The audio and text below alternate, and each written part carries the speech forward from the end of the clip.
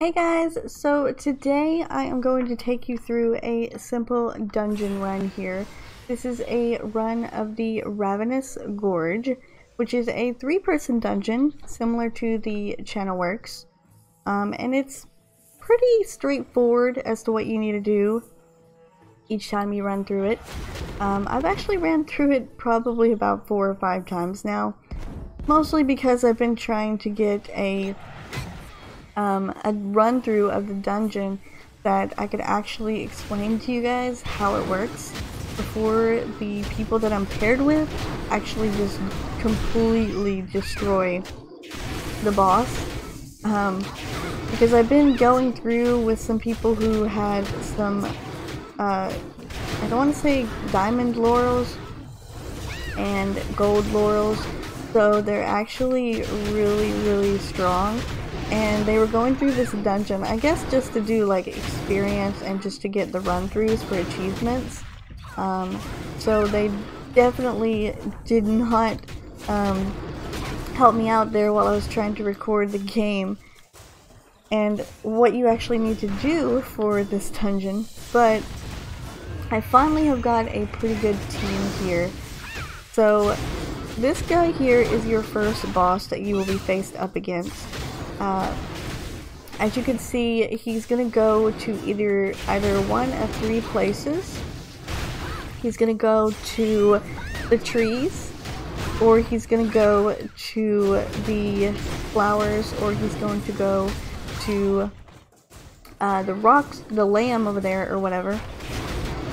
And if he manages to get over there before you're able to attack him enough, you'll get a buff off of that so you want to basically try to hurt him enough so that he doesn't actually get over to them before you're able to, um, before he's able to get that buff. So unfortunately he got it whenever we, uh, whenever he went up that tree there. I wasn't in time to actually uh, attack him enough so that he would not get the buff I believe it's a buff that you get. I'm not for sure. Um, I didn't look up any of the mechanics for this dungeon. I've done it so many times, I just kind of learned as I went through. So it wasn't anything that I had to try to learn how to do myself. It was just something that I learned by going through. But I know that a lot of people like to have the dungeon run-throughs. They do help them out quite a bit. Um, and I know they work for me as well. I tend to tend to use them sometimes, not a lot, but I sometimes use them. And they do help me. Even if they're not explaining to me what you do in the dungeon, and they're just going through and running it with music behind it, I still find it helpful uh, because you can definitely see what you're doing wrong or what you need to do for that dungeon run so that you know, you know, what you need to do next time you go in there. Because a lot of times if you don't know what you're doing, um, they will kick you out of a dungeon. So you just need to be careful with that. Also, we have to go up here um, and wait. Well, usually you would go up here and wait. You don't have to anymore a lot of people tend to know what to do, but there is a certain monkey that you have to attack down here. And if you attack him, um, then he will he will go away and the, the big gorilla will come back faster. You want to basically attack the ones that are saying squeak, squeak. I know everyone over there is kind of not doing anything. Um, because you can, because if you do hit the wrong ones, like you can see there, I will lose HP. Um, but if you hit the ones that just say squeak squeak, then you'll you'll go on to the next one. Or you could just stand around and not do anything. That would actually be something that a lot of people do as well. Then you avoid it. And you don't have to worry about losing the HP. I'm actually going to let my cat in while we're waiting on opening the door.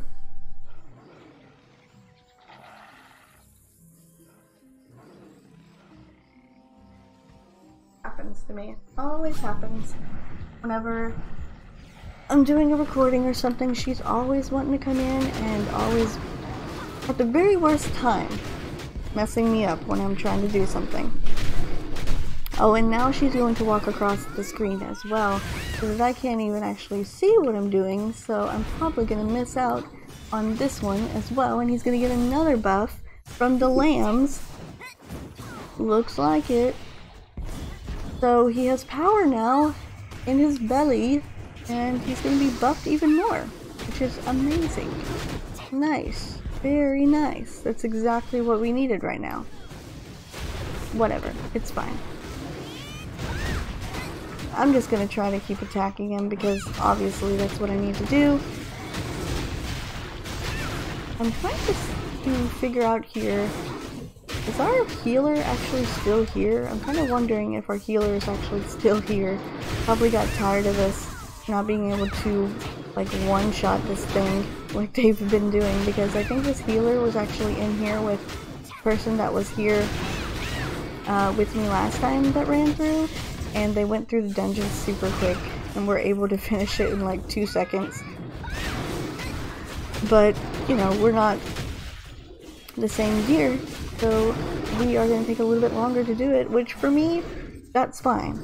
Because I'm running through this as a dungeon run through, so I obviously am going to need to be able to tell you guys about what you need to look out for so you probably could get the gist of it without me having to explain it to you. Um, because clearly I'm terrible at explaining things. Because I didn't look up the mechanics myself, so you know, I'm just kind of... I'm here, basically. What's going on? I'm here. And I'm running through the dungeon for you guys. So, I'm going to actually... Well, I can't actually do that. I was going to kick out the healer because they basically left on us.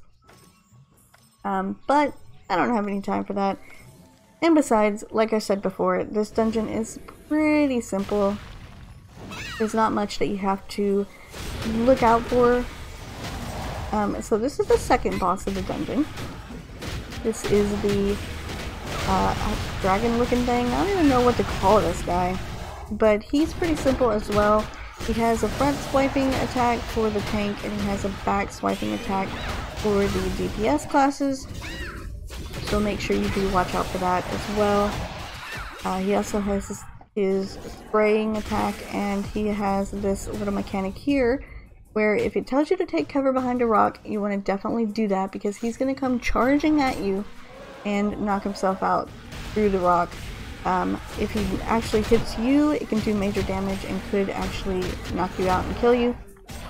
So you just want to look out for that. When it says to take cover behind a rock, take cover behind a rock and uh, it'll get you what you need.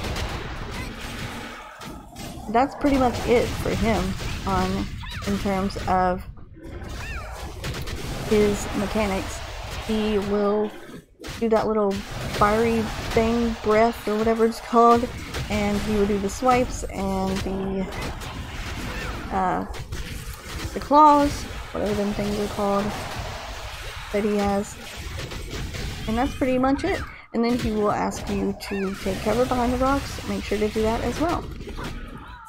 It's very simple, which is what I've been saying like quite a bit, which is probably why you guys are probably annoyed with me since I'm kind of repeating myself a lot.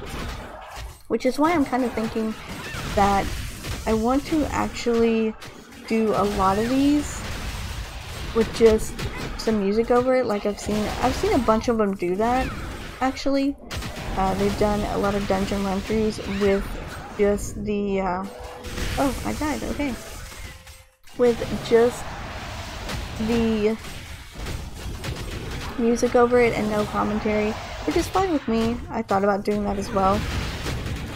Uh, a lot of my run-throughs I've done so far, though, have been um, with commentary on them, though. So that's why I decided to do it with commentary. Thought it would actually be more appropriate. That way I could kind of like explain things. Um, but if you don't know what you're doing, then obviously it's going to be hard to explain it. it's not really that difficult. It's not like some of the big dungeons. This is one of those uh, dungeons that's pretty simple. So I don't technically have to explain a lot. I know on the first boss I didn't actually explain too much of anything. It's, it's pretty straightforward. He will go to a certain spot. You want to make sure you attack him with your whole team before he gets to that spot so that he can uh, he will fall down and he won't get that big huge buff or whatever it is that he's getting when he goes up there. And then he'll also throw out some orbs uh, for the DPSs, so you have to watch out for that. And he also will throw like this tantrum thing, and there will be some AoE spots on the floor that you're going to have to avoid.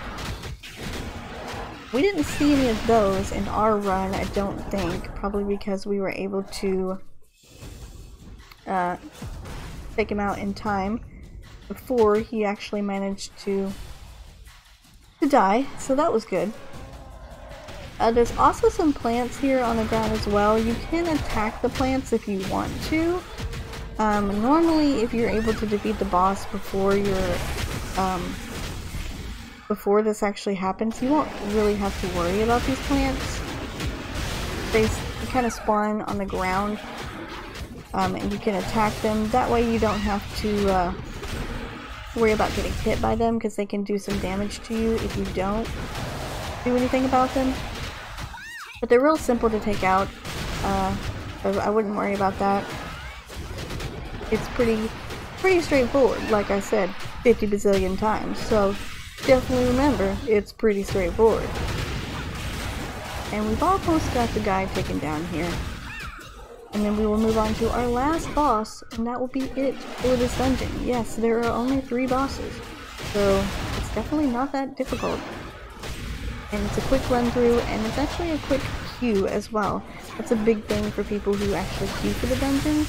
Um, it's a quick queue, so you will definitely not have to wait too long on that. I think my maximum wait time on this dungeon was usually around two minutes to three minutes if even that. Sometimes it was right away.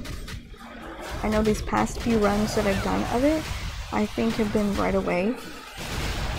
So it hasn't been um, as bad as it was before, which I'm actually happy. It's, uh, it's, like I said earlier, it's about, it's kind of like channel works, so since you're only looking for three people, it's not going to take you as long to get through the dungeon, which I'm very happy about. And you do get a few things that can help you with gear um, as well. So basically, you want to pick those up because you can use them. Uh, for lower tier gear, it's very helpful. So it's, it's it's kind of a I forgot what number it is. I think it's a 413 dungeon, so it's pretty low.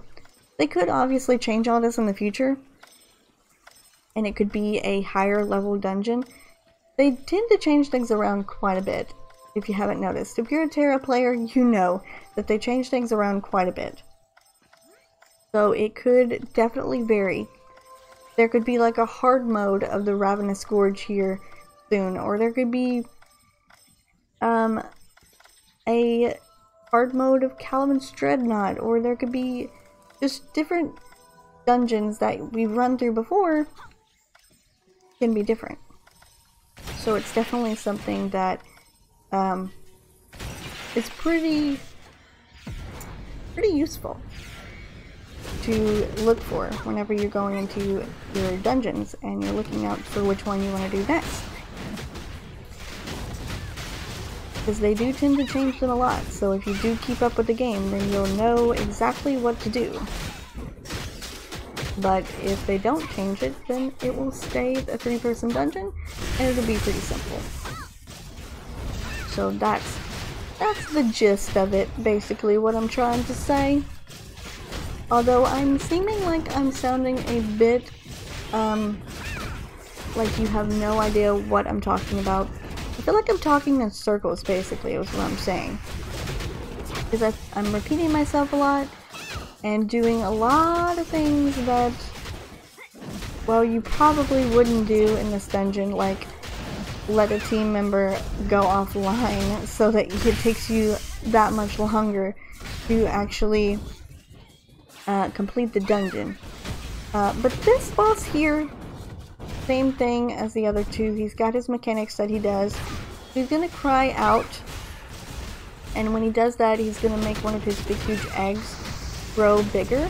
And what you're going to want to do is you're going to want to go over and you're going to want to attack the egg together and get rid of the egg because it's kind of like the first boss where if he reaches the egg before you're able to take it out, then you're to run into um, you're to run into some problems because he's to get like a buff or something if you don't be careful.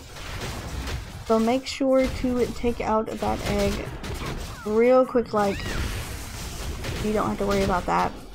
He also has a diving move, um, move that he will do on certain people, and like right now he's going to dive on me, so I'm gonna stay out of his way and dodge him as much as possible.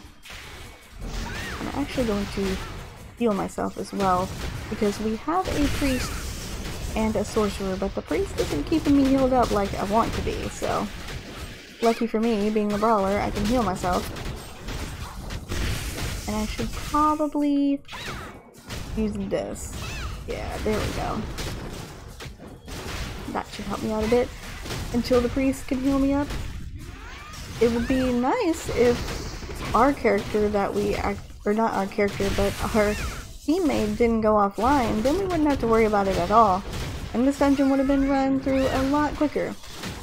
That's another thing that I didn't mention before though, is if you get a dungeon run of this dungeon with all DPS classes, it's going to be a lot quicker than if you're running through it with a priest or a mystic because they are healing classes and they're not going to help you out as much as it would if you went through with a um, with a DPS class only run. It is nice though to have the healers, um, especially for if you are running with people who don't know what they're doing or they don't have the right gear, it's good to have a healing member to be able to heal you up so that you don't have to worry about dying like I did, fortunately, on the second boss. But then you also don't have to worry about um, your MP getting low or anything like that, and you're pretty set for the dungeon.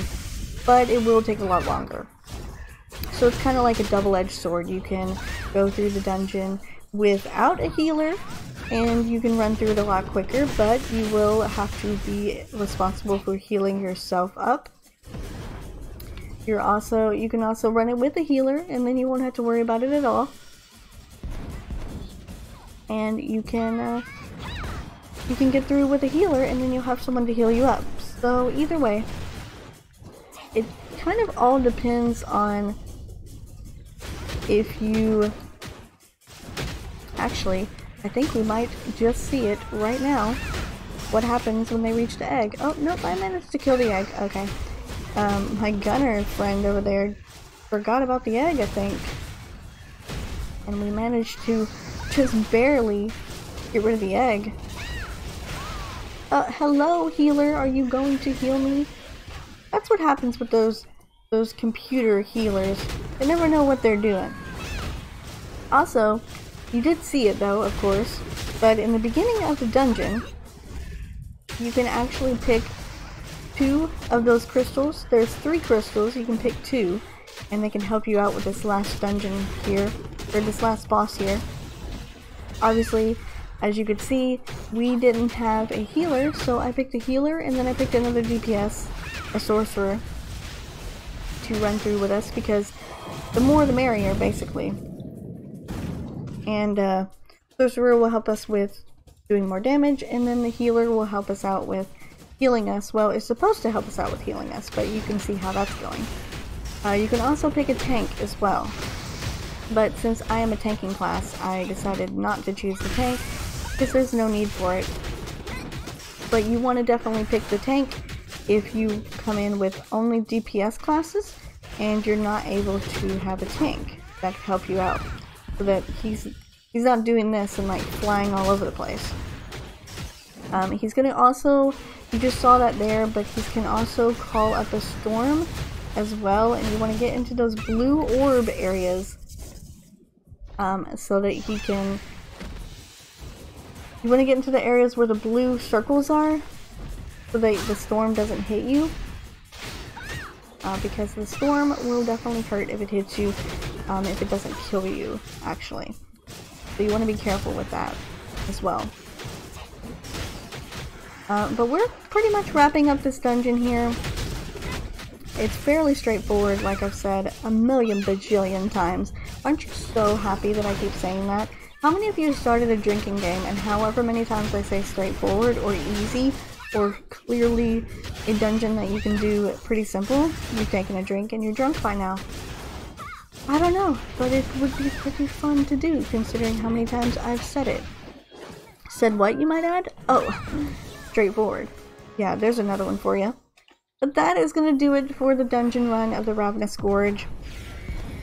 Um, it is free boss dungeon, and you can get some cool items if you manage to make it through. You can get these enchanting boxes where you can get yourself some crafting material to help craft your gear.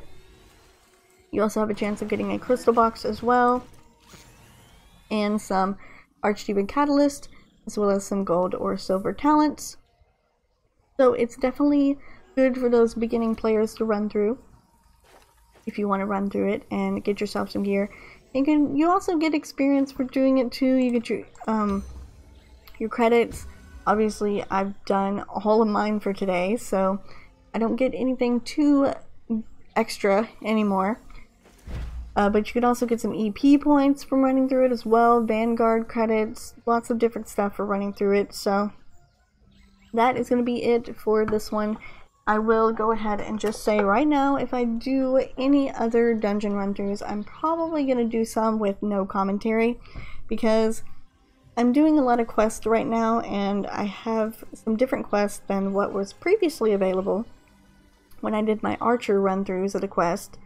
So I thought I would do some different dungeon run-throughs while I'm doing stuff today and just kind of play through the game because that's what I've been doing since I've gotten my brawler up to level 65 is just playing through the game and playing through the dungeons. And this is what the end game is all about dungeon running unless you're doing PvP but that's a whole other story. Anyway I've talked your head off enough and I've basically taken up a bunch of time here. So I'm to go ahead and end it off and I will see you guys in the next video.